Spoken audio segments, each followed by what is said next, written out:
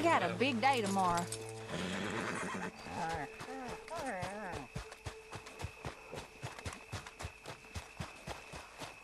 Hello there, Uncle. Okay, here's the stuff you asked for. It was a real hassle finding all this.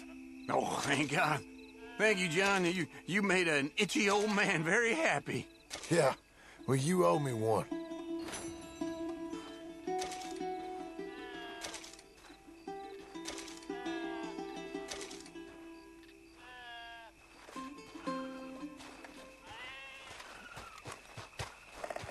Jesus, Uncle, did you just fart? What are you getting at, John? I ain't got the heart to push this any further. It was only a joke. You see me chuckling, huh?